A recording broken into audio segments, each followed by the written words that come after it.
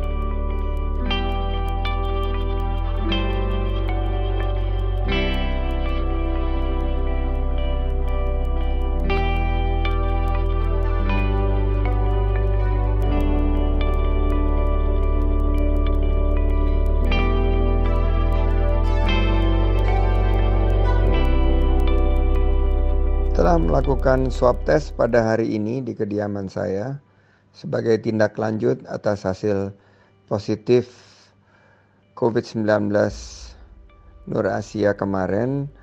Ternyata hasilnya menunjukkan saya juga positif COVID-19.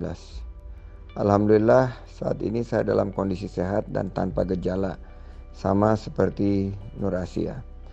Mohon doanya untuk kesembuhan saya Nur Asia dan sekali lagi untuk semua yang berjuang dalam COVID-19.